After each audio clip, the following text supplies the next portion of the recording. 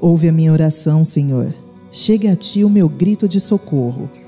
Não escondas de mim o teu rosto quando estou atribulado. Inclina para mim os teus ouvidos quando eu clamar. Responde-me depressa.